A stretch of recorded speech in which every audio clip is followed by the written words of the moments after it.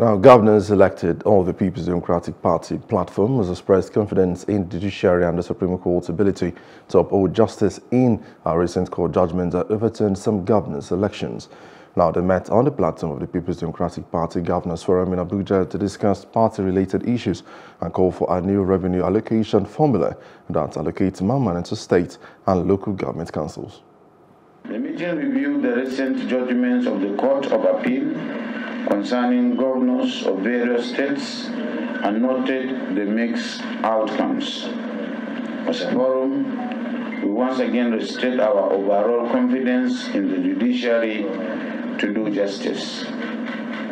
We believe that the Supreme Court will do justice in the cases where we recorded temporary setbacks like Zamfara and Plateau states. The meeting also reviewed the off-season elections in Kogi, Bayelsa, and Imo states. We support the decision of INEC to investigate the allegation of existence of refilled result sheets even before elections started in some places to ensure the confidence of the people in the electoral process.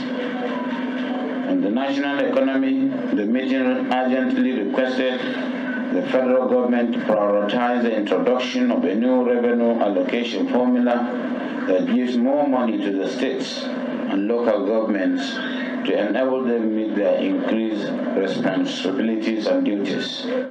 Hello, hope you enjoyed the news. Please do subscribe to our YouTube channel and don't forget to hit the notification button so you get notified about fresh news updates.